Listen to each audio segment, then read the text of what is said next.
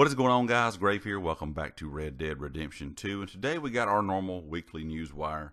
And of course, today we got a new, few new things added into the game. I will link the news wire down in the description below if you would like to read over it for yourself.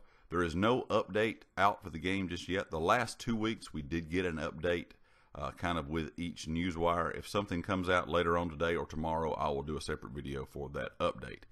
Anyway, guys, today we did get a new bounty. This is the Owlhoot family. It looks like it's going to be a large bounty. It looks at least to be six players, so it says you probably would need a group to go with you to do this unless you just want a challenge.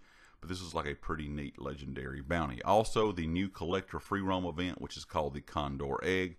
As long as you're a collector and rank 4 or above, you can uh, kind of participate in this event. Also, with the collector, there's also been a hunter hatchet added to the fence. So go by and check that out if you like a hunter hatchet. And we also got the Spoils of War, which is a new free aim, uh, you know, lobby to play in for PvP. Some other things that came along this week were uh, the ability to get free $200 in Red Dead cash. All you have to do is participate between now and October 7th in a role free roam event. You will also get the red and black colorway poncho. And if you do all this by the 7th, you will be rewarded with five tomahawks. The other thing they did talk about this week was if you have your account kind of done with the two-step verification, you can receive 2,000 club XP and a vest for just having that, you know, linked with that two-step verification.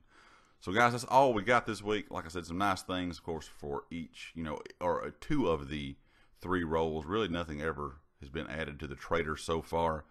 Uh, I'm guessing because you know the trader is kind of its own thing without you know without having to add something week in and week out. But the new collector uh, event and of course this new bounty looks very challenging this week. So like I said, leave me a comment. Let me know if you liked the video. Of course, leave me a comment let me know about the bounty if you had a, a successful go of it. And of course, if you liked the video, hit the like. If you have not subscribed yet, please do so. And I'll catch you next time. Peace.